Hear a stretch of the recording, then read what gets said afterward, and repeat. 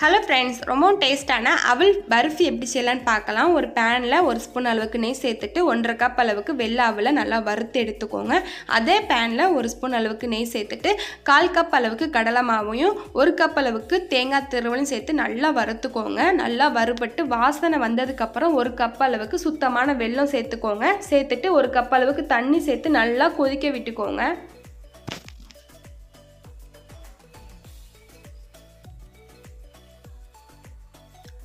நல்லா கொதி வந்ததுக்கப்புறம் நம்ம வறுத்த அவலை சேர்த்துக்கிடணும். இதில் கொஞ்சம் ஏலக்காய் வாசனைக்காண்டி ஏலக்காய் தூள் சேர்த்துட்டு நல்லா கொதிச்சதுக்கப்புறம் நம்ம வறுத்த அவலை சேர்த்து நல்லா கைவிடாமல் ஒரு அஞ்சு நிமிஷம் கிளறினீங்கன்னா ரொம்பவும் சூப்பரான பர்ஃபி வந்து ரெடி ஆயிரும்.